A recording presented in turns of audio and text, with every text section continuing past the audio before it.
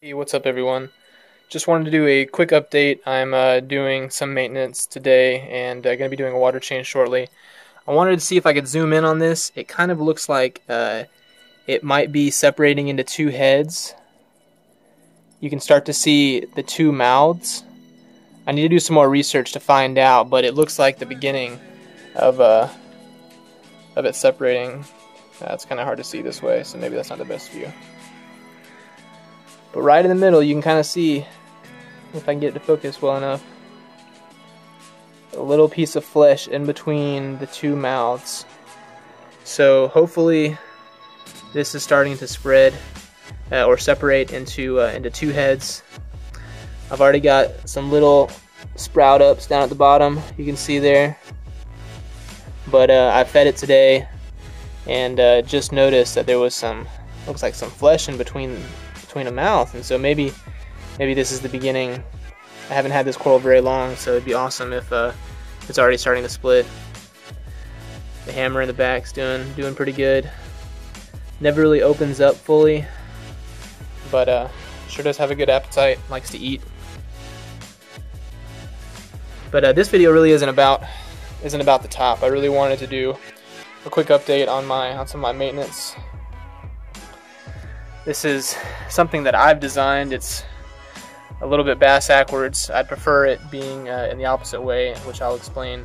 Uh, basically, got a little pump that uh, sucks up all the detritus and stuff that I stir up, and then uh, pumps it into this little. Uh, it's actually a pet food container that I drilled a hole in the, in the, bottom of it and basically just fill it with filter floss. You can already see just from the time it's been in here that uh, it's getting pretty brown. Basically, what I do is just take a, uh, a plastic credit card of some, some type. Uh, this is just an, an, old card that I had for, uh, for beach access. So uh, this is what I use to scrape all the glass. Uh, as some people may have seen from some of my videos, my tank is pretty scratched. It's an, it's an old tank, and so it has a lot of scratches. And I try to minimize the amount of scratches. And this, these plastic cards don't scratch your glass, and they do a really good job of uh, cleaning off all the detritus. So basically just scrubbing down everything, trying to get all the detritus. The water's still pretty cloudy. It was pretty dirty in here. Scraped everything off and then I use a turkey baster to uh, blow it all around, stir it all up, and then I, I, just let this sit for, you know, really as long, as long as I feel like doing it. Not too long since today is a water change, but uh, I mainly put it in there to get all the big particles out, the big pieces of algae. And uh, this is a pretty good way to remove uh, you know bad nutrients. Basically, I, I, run I run bare bottom as you can see. I used to run sand for the longest time, and as I became lazy, it holds a lot of detritus and uh, a lot of bad nutrients that, that you don't want in, in the water. So uh, I decided to go bare bottom, and now about once a month or so, maybe maybe a little bit more, I uh, turn off all the pumps, scrape it down, and then put this little vacuum thing going in. I would prefer that uh, the water gets sucked up into this container as opposed to being sucked up into the pump because if it sucks up a small piece of rock or anything, you know, it could definitely break the propeller um, and, uh, you know, not function anymore. So it, has been working okay. I try to keep a close eye on it, make sure I'm not, you know, blowing anything into it that could possibly damage it. I don't get too much sand down here. Uh, my, my overflow system that I've built uh, works pretty well at keeping most of the particles in the tank, which is actually why I designed, or not didn't design it, but, but built this design, just because I had a very basic overflow. Kind of hard to see because of my dirty tank, but uh, it would it would you know keep a lot of the, the top water skimmed really well, but uh, it, it also sucked up a lot of the stuff into my sump. This does a much better job at keeping my sump clean and, uh, and the tank water separate. It's also a lot quieter too. The basic overflow I had was really noisy, lots of gurgling. So I just wanted to do a quick shot of this. Uh, I saw this on a video and kind of just made it my own based on just materials I had in the garage. So that's, that's why I say it's kind of bass backwards. Uh, I, I kind of wish I could design it differently, but I think I would need a more powerful pump. This works for me. It's only a 10 gallon sump, so it's really not too bad. So I run a bare bottom sump and this is because I used to have substrate and it just really got very dirty all the time it became a, a real struggle to keep it clean, and so I decided to go uh, bare bottom instead of having any kind of sand or substrate in there. And so far, I really like it because uh, based on what I've seen from algae scrubbers, and I could be completely wrong on this, but this is just kind of my theory on it. So, an algae scrubber is a specific spot designated to grow algae to keep it from multiplying in your tank. You uh, set up the environment so that way this algae can reproduce much faster than it would in the display tank, therefore uh, absorbing all of the, uh, the bad nutrients in the water. And then you remove the algae, which is your nutrient export. So uh, my thought is with a the way the way at least I'm doing it with a bare bottom tank. In a couple weeks, this thing will get covered in algae, uh, and then I use this mechanism that that I've created. I watched a video and saw what he had and thought, you know, I, I had a couple things in there that could in my garage that might work. So right now the pump is in is in this side. Uh, I I switch it between the different compartments and blow everything out and scrape it out, and then it gets uh, pushed and sucked up into into this thing, which is just like I said, a pet uh, food container that I cut a hole in the, the bottom of it and then uh, shoved a bunch of filter floss, which all I use stuff you get from Walmart, super cheap. Some people uh, have some issues with it. They've said it might contain other chemicals that it's not accounted for on the package, but I haven't had any issue with it, and it's lasted a very long time for just a couple bucks. So that's pretty much what I use uh, catch all of the, the big particles, and then I'll do a water change just because I've been stirring it up so much. So back to my main point. After it grows the algae, and then I remove it, uh, to me this is seeming like just a giant algae scrubber. I mean, I've got uh, a pretty strong LED light. It's like 38 watts for this little bitty area, so it, it grows some algae. It grows a lot of algae in my little refugium here. Uh, I scrape it off, and then I suck it up with a pump, it gets caught up in uh, the filter floss. I remove that, throw it away, and then do a water change where I basically use the same pump and just pump the water out of this sump into a five gallon bucket, put fresh water in, uh, and there's my nutrient export. And then when the xenia get big enough and start taking over, I'll be able to cut them off, take those out, and more nutrient export. So just my two cents on uh, my little refugium instead of doing the macroalgae I'm trying this method, and so far it's worked really well for me. I don't have to worry about all of the sand and constantly stirring it up. I mean, I am constantly scraping algae off, but at least I can see the algae I'm removing and not removing any sand and not having to deal with all of that. So, uh, just my two cents, just my thought, my theory. Maybe it works for somebody else, but it seems to work pretty well for me. Uh, but uh, in an hour or so, it will probably be very clean. Uh, I'm going to probably do a 5% or 10% water change into this 5 gallon bucket here in a second. I'm also going to clean out my DIY skimmer.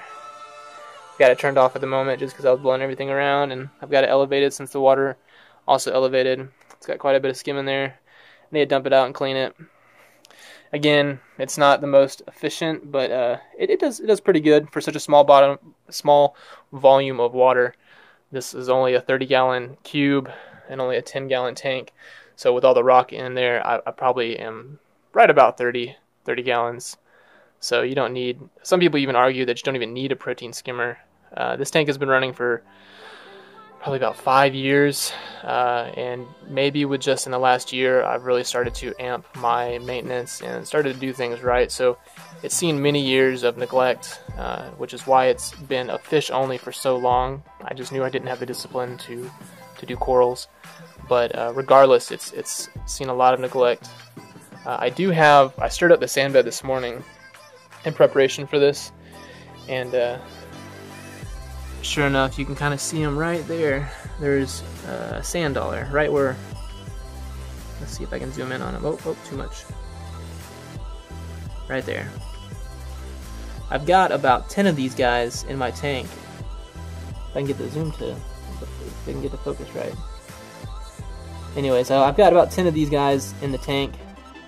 I see them every once in a while, a bunch of different sizes. I, I live on the coast, so uh, based on our state law, I picked up the maximum amount I could at one time and uh, put them in there. It's a, it's a relatively deep sand bed. However, as you can see, it's not very uh, sandy. It is on the bottom, but just over the years, you know, all the, the dead snails and shells and stuff, you know, just kind of accumulate on top. So uh, whenever I stir it up or, or uh, do any kind of maintenance to it, it kind of gets some of that, that nice sand on top. But they do a really good job, the sand dollars do a really good job of cleaning the sand. So I really don't stir it that much. I really don't ever, hardly ever have algae on my sand of any kind. Could also be just the amount of time that this tank has been running. It's very efficient. I have a lot of rock for a small amount of uh, fish that are in there. Let me zoom back out. It's really jittery. Oh, wrong way. But uh, so yeah, so I very, I very rarely uh, stir it. I do every once in a while just to just for maintenance purposes, just because I, I, feel weird about not stirring it. I'm worried about too much accumulation of, of dead material. But the sand dollars, sand dollars work really well. I've got a couple big ones in here. Uh, one of them usually like to hang out in here. I can usually tell because there's a little mound of white sand right above where they are. They do a really good job of, uh, of cleaning cleaning the sand and making sure it stays nice and healthy. So I'm going to let this run for a little while longer, do a water change, and uh, that'll be the end of that. Another water change in about a week. So thanks everyone for watching. I'll be posting another video soon, either on this tank or the 8 gallon nano. Everything's doing been doing pretty pretty good. The new fish is still adjusting, the blenny. Uh, he's still not eating food in the water column.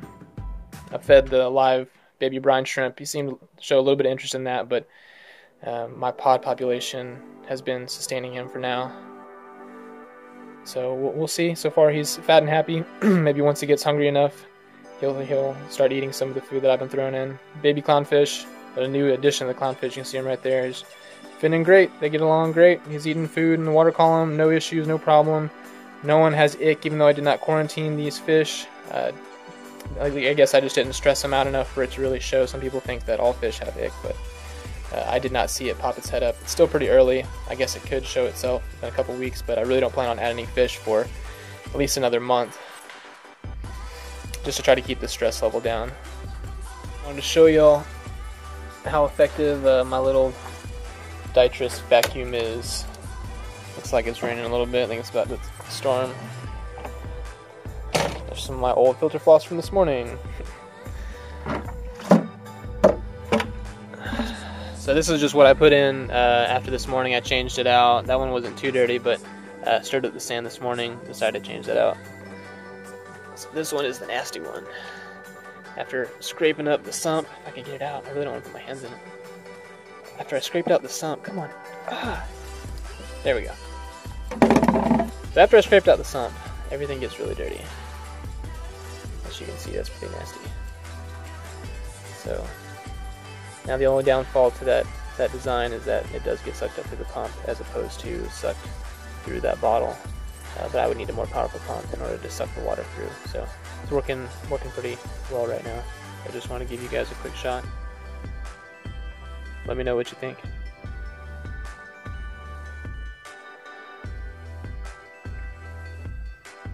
Other than that, everything's going really well. Thanks everyone for watching. Like and subscribe. And uh, See you guys next time.